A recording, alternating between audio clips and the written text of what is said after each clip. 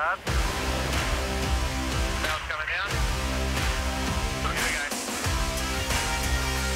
Coming. High wheel. Building to tack here. Nice. It started with a vision. Years of design, dedication and sheer hard work have now built to this. The F-50 wing-sailed catamaran, six of the world's fastest boats. Boats that fly. One design for all. An engineering masterpiece. Supreme athletes from six countries face off in the most thrilling global race on water. This is sailing redefined. This is nation versus nation. This is Sail GP. Season one begins here in Sydney. Hello and welcome to the very first event of a brand new championship. The iconic backdrop of Sydney Harbour played host to the F50 fleet as it redefined the sport of sailing. It was the first of five events in the 2019 Sail GP season, and the teams were raring to go.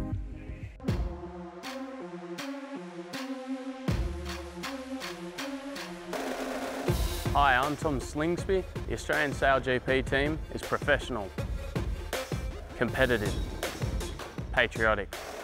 I'm Phil Robertson. The Chinese Sail GP team is young, multicultural and fresh. Dylan Fletcher. And the British team are raw, proud, relentless, hungry. Is that for? I'm Nathan Outteridge, Japan Sail GP team. Determined, resourceful, respectful. I'm Rome Kirby. The United States Sail GP team is young, humble, experienced, not experienced, that's Tom's. Damn it! I'm Billy Besson. The France Sail GP team is competitive, patriotic, fun. We'll be bringing you all of the drama from two action-packed days of racing. Day one featured three event races when all six boats lined up together. And on day two, there were two further event races before the top two teams went head-to-head in the final match race.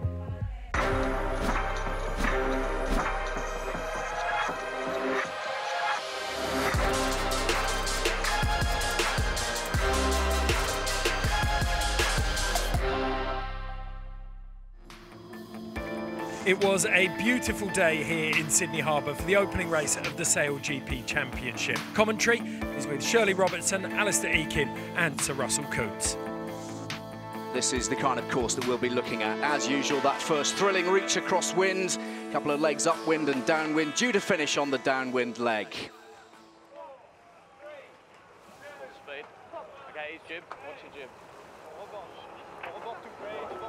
and they're across the line, and the Chinese, in fact, it is, who have started the fastest. The French have done extremely well. The Australians tucked in behind, but not really with enormous boat speed as yet. The Chinese, though, first to get up on the foil, Shirley. Ali, speed is the king, and they timed that run from a long way out. Absolutely owned the first start here in Sydney. The start of a brand new sailing adventure, Sail GP is up and running down under, and it is the French who are leading the charge to Mark 1 with the Chinese close alongside. What a sight. Six boats sweeping across Sydney Harbour. And round the first mark, it is Billy Besson, considered something of an outsider, but making a storming start.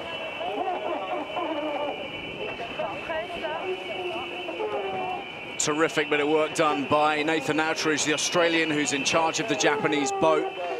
Coming close to the boundary, pushing the boundaries and on collision course with the Chinese. Goodness, how close that is between Japan and China.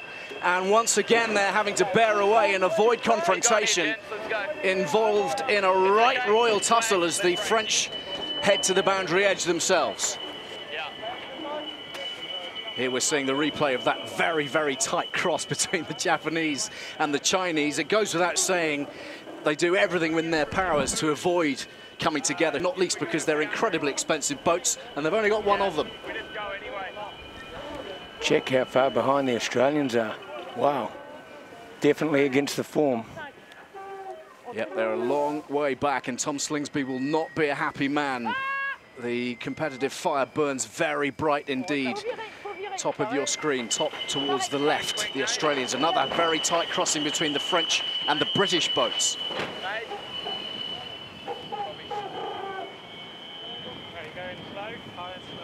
Well, the French team here, led by Billy Besson, four times world champion in the, in the small foiling boat in the Olympic Games. And he's brought with him his crew from the Olympics, Marie Riou. She's the flight controller. And, uh, you know, it's all about communications and trust. And he was absolutely the, the first call.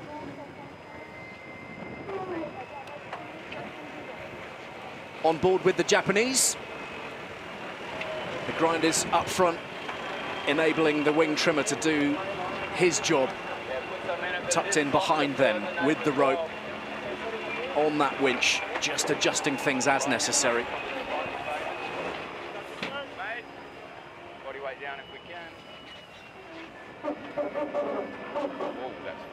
So what a start to the Sydney Sail GP for the Japanese outfit, led by Nathan Outteridge.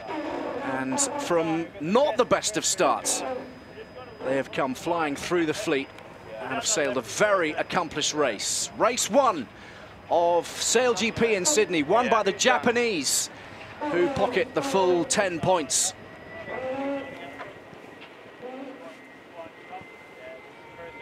Terrific start and what that might do to confidence levels and belief as they head through the next couple of races and into tomorrow and of course thereafter at the second event in San Francisco, followed by New York and Cowes and Marseille for the big money race at the end.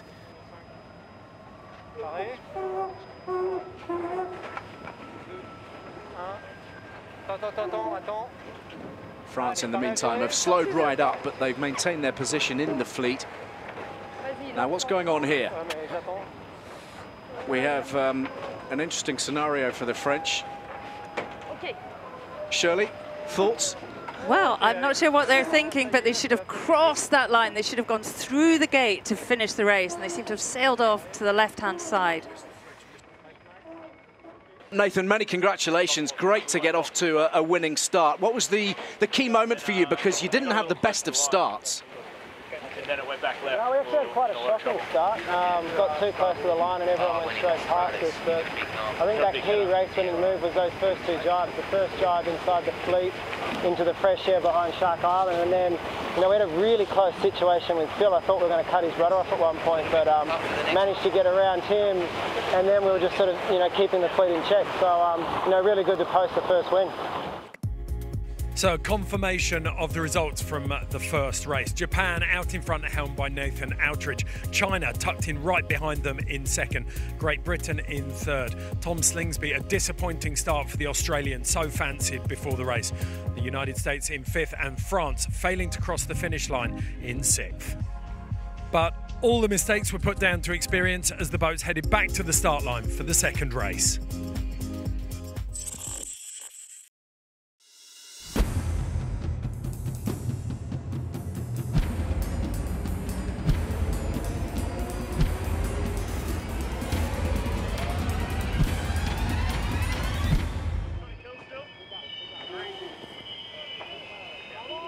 These boats up on the foils as they hit the start line. It is Japan in front from Australia and Great Britain. The Chinese going great guns as well. OCS now the USA, Japan, the back OCS markers, Japan, as the Japanese head off USA towards the boundary on a slightly different route to everybody else. Well, the Japanese got a, a penalty there over slightly early, and they will have to slow at least one boat length back on the rest of the fleet. A very unfortunate penalty for Nathan Outteridge and Japan right OCS at the Japan, outset. But what a sight USA. that is as they head to Mark 1, the drag race, well and truly up and running.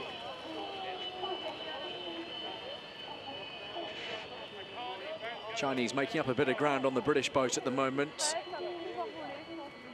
Out to the side of them, At what stage do these sailors begin to look over their shoulder, Shirley, and take a, a clear view as to what the other boats are doing and, and the tactics surrounding all of that? Because, of course, the British potentially here are in a position where they could affect the wind of the Chinese boat. They're thinking about that, discussing it all the time. And they're not going, you know, 50 miles an hour today, so they've got a little more thinking time. Each boat will also have a, a tactician. Generally, it's the flight controller.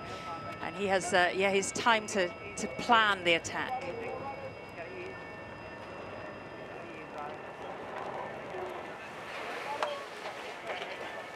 Another very slick manoeuvre from those in green and golds. Slingsby, an, an, America's Cup winner in 2013 with the USA as tactician, performed the same role in 2017 in Bermuda as well. But uh, tight race in behind them between the the French, USA and China also in the mix. And uh, the Japanese coming up on the rails as well. Billy Besson is fast. Team France are they have speed. they should stop turning the corners, I think. You know, they really have a kind of natural speed to, to make the boat go quickly. Really good pace being picked up here by the Japanese as they head towards the gate. The Australians are, are well clear at this point. The French trying to hunt them down. Relatively tight crossing between the British and the Japanese and indeed the USA. The Chinese have, uh, have slowed up a little bit. But this is a, a real tussle in the middle of the fleet. That's anybody's. Well, battle is joined. Make no mistake about that between Nathan Outteridge and the Japanese crew and Tom Slingsby in the Australian boat. The two old rivals going head to head. The Japanese just looking a little bit unstable as uh, they tack up wind. Australia have gone right to the boundary edge. But look at the gain the Japanese have made, Shirley. I mean, that is a sensational effort. There's A little bit of pressure just up there. Here we are with the Australians.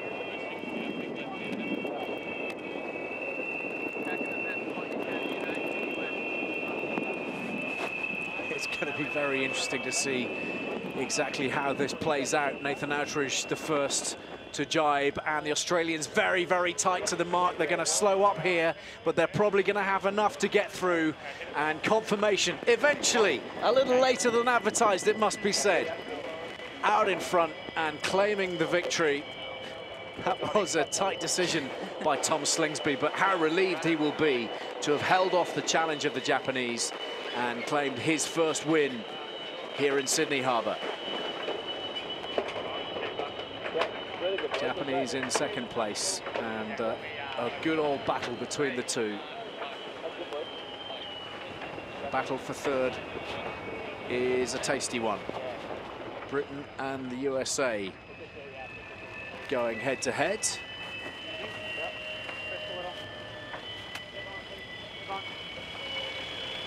Britain taking them on. Taking them on and doing it very effectively a little bit of extra pressure, perhaps. Good response from the USA as well, and this is where the, the sailing can be dramatic as well. We've finished the race with first and second, Shirley, but the, the battles further down the fleet can be just as absorbing. And Rome, Rome Kirby's done well here. He's just sort of slid the boat down. He's closed off that door to, to Dylan Fletcher and the British team, and defending his third very well. So a third place finish for the USA and uh, one more tight-ish jibe for the British. Dylan Fletcher comes home in fourth place for Great Britain.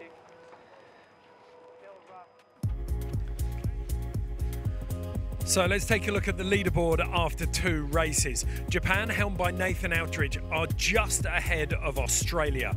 Great Britain down in third place on 15 points. China on 14, still stood on that great first race result. Rome Kirby improves with the third place in the second race, but Billy Besson down there in sixth. This new class of boat makes huge demands on the athletes that sail them, and there's a new generation of bright young things eager to get their hands on these sleek carbon fibre racing machines. I got the British Sail GP helmsman Dylan Fletcher to show me around. So we're going to go upwind VMG, bear away to reach. Copy that.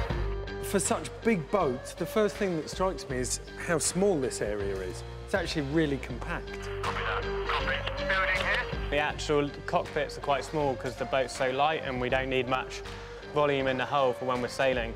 Grinders working the uh, handles at the front. Yeah, so you've got position one and position two. Um, you've got Matt and Gotrel, aka Shrek, and Rich Mason up there. So yeah, they'll be grinding the two winch handles on e each side. That winch handle is driving this drum here. This is the winch. And, to And that's that, pulling in the wing. that's going to be pulling the massive wing. You see the 24 metres of wing. Wing trimmer sits here, and they're controlling this wing sheet. So these guys at the front have got a real hard physical job, and Chris has got, you know, the more technical job. It looks more like a shuttle. Yeah, there's a lot of displays that we've got going on. There's lots of different, everyone's got their different controls and their buttons. We've got a joystick, you know. Have never sailed a boat with a joystick before, so it is futuristic, but you see that with the speed of the boats and how fast they go for such a small amount of wind. What's our target here, Chris? 21.5. When we're coming up to attack, for example, um, the first thing that I say is stand by, Stand by. and that means that we're about to start tacking. So what happens is Chris uh, in position four, which is trimming the wing, and Shrek in position one, grinder, they get up and they sprint across the boat. I'll be Chris. Okay, so I go across here. So you run across, getting the cockpit, and shout clear. Be clear. Clear. In the time that they've been running across the boat, I've dropped the board. Forward down. As it starts to come down, Stu, in uh, the flight controller position three, says lock.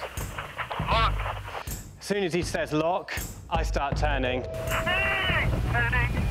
And as soon as we're through the turn, I'll say uh, on angle, then myself and Rich run over the boat. And then once we're both up, I then say my rake, and then Stu comes up. It's so choreographed, isn't it? Okay, stand by for bear away to reach. First. Stand by. Clear. Down. I like this.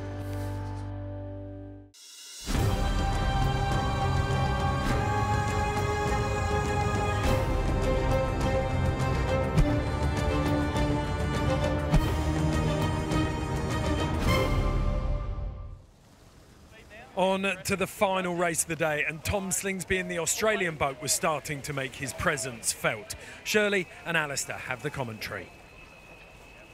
Beautiful little start. bit of uh, bully boy tactics, if you like, from the Australians as they head over the start line in fine style. The British in second place, the Japanese chasing them down, but with nothing like the same boat speed at the moment. The USA, China, and France struggling off the line a little bit, and Billy Besson's day does not seem to be getting any better. Just hovering along at around about 10 knots, but in stark contrast, Australia flying.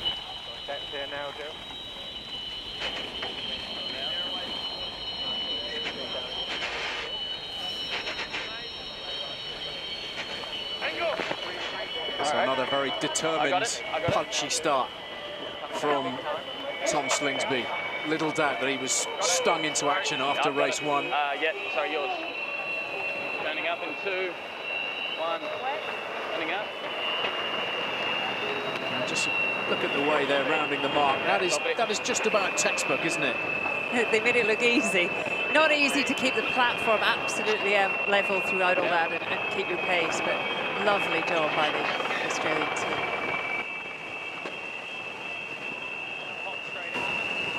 Everybody in perfect harmony.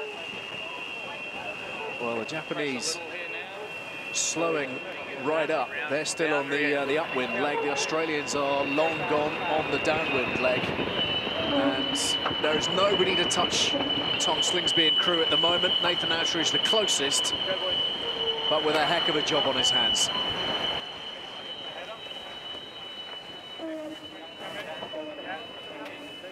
Tight to the boundary and a lot of ground to make up. Some 250 metres between Australia and Japan. The Australians close to closing the deal here on day one. A day that they will be pretty pleased with, you would suggest, bouncing back from that fourth place in race one. The Japanese have not raced well. I mean, they go fast, the maneuvers are really smooth, but just to me, not, they haven't nailed any of the starts. They haven't dominated this race course like perhaps we, we expected from them. Maybe they're just relying on their pace. So the Aussies heading for the finish line. Yeah. I, they could be on the lap before. Okay, copy. Okay. Some interesting characters on board there, by the way. Ky Hurst, one of the grinders at the front of your uh, your shot there, is, is a man who's taken part in the America's Cup, but he's also an Olympic swimmer, and he's won four separate Australian Ironman titles. He's a useful man to have, generating the uh, the power that allows the wing trimmer to do his bit. Just in front of him, Jason Waterhouse, silver medalist in Rio, in, in in the sort of scaled down version of these bows. So no stranger to, to this kind of pace. So the Australians heading to the finish line and the Chinese, don't be fooled by their presence. They've been lapped. The Australians across the line in commanding style and it is the Aussies dominating down under on day one of Sail GP in Sydney. Tom Slingsby, terrific effort from him and his crew. Fourth in race one, but winning race two and race three. Fabulous effort.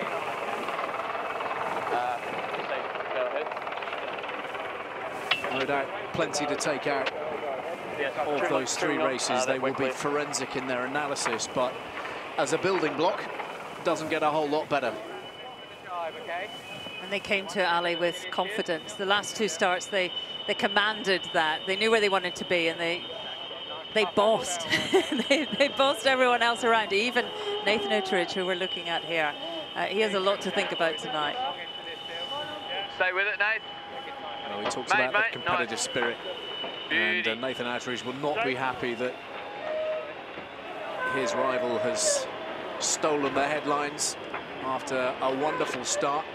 But they've been tremendously consistent and they will be taking a great deal of comfort from that. I think we are going to see a real ding-dong between these two as the months play out in Sail GP across the different events. Just one point separating those two on the leaderboard now.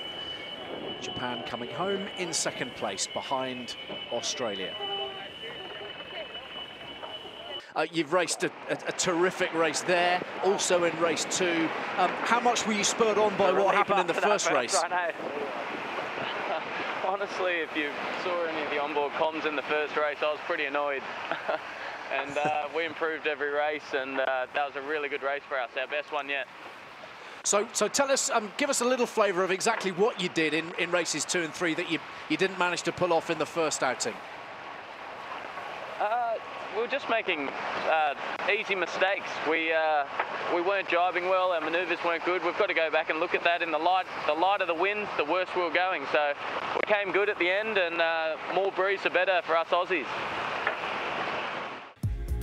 A dramatic day of racing here on Sydney Harbour. Let's see how they stand. Japan out in front. Nathan Outteridge's consistency paying off. Just behind him, Tom Slingsby with two wins. Dylan Fletcher keeping Great Britain in third. Rome Kirby and the United States boat in fourth. China fifth. And Billy Besson still struggling down there in sixth. The first day of the Sydney Sail GP draws to a close, and things are now perfectly set up for the exciting climax.